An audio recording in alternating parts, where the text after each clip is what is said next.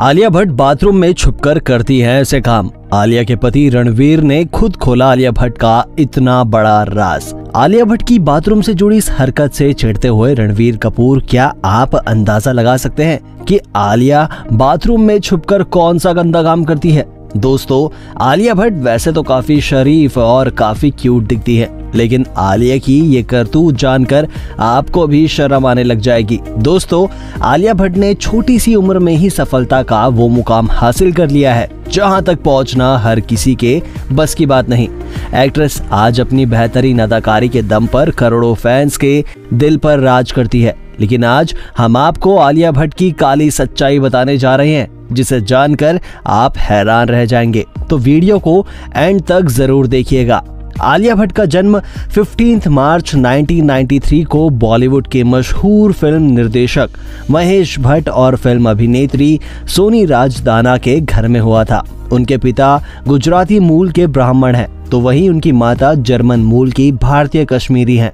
आलिया भट्ट के पास भारतीय नागरिकता नहीं है और ना ही उनके पास भारतीय पासपोर्ट है।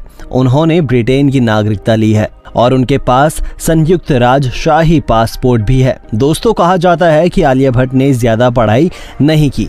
उन्होंने मात्र स्कूल लेवल तक पढ़ाई की। उनकी कॉलेज की पढ़ाई फ़िल्मों में उनके करियर के कारण नहीं शुरू हो सकी।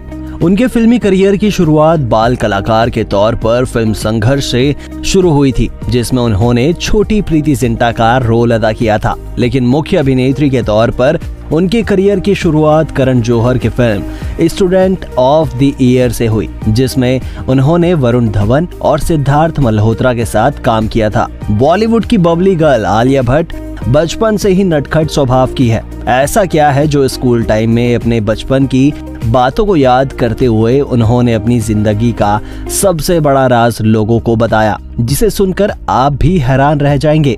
आलिया को बचपन से ही स्कूल के बाथरूम में जाना बेहद पसंद था, लेकिन इसके पीछे जो कारण था, वो आज तक कोई नहीं जानता। आलिया ने अपने पुराने दिन याद करते हुए लोगों को बताया कि कई बार उन्हें बाथरूम में जाने के लिए सजा मिला करती थी। अब आप सोच सकते हैं कि किसी भी व्यक्ति को बाथरूम में जाने के लिए कैसे सजा मिल सकती है। लेकिन आलिया के साथ ऐसा हुआ है, और एक बार नहीं, बल्कि उनके साथ ऐसा कई बार हो चुका है। आइए हम आपको बताते हैं कि ऐसा आखिर क्यों हुआ। असल में आलिया के साथ ऐसा इसीलिए होता था क्योंकि आलिया स्कूल के बाथरूम में जाकर सो जाती थी। आलिया ने खुलासा किया कि स्कूल के दिनों में उन्हें कई बार बाथरूम में सोने के कारण सजा दी जाती थी। यहाँ तक कि एक दिन वो बाथरूम में सोती हुई पकड़ी भी गई थी। जब टीचर ने पूछा कि आलिया कहाँ है तो उसे पूरे स्कूल में ढूंढा गया। जब वो मिली तो वो बाथरूम में सो रही थी। इस बात पर टीचर को बहुत गुस्सा आया और सजा के तौर पर उन्होंने आलिया से एक सप्ताह तक क्लास के सारे डेस्क साफ़ करवाए।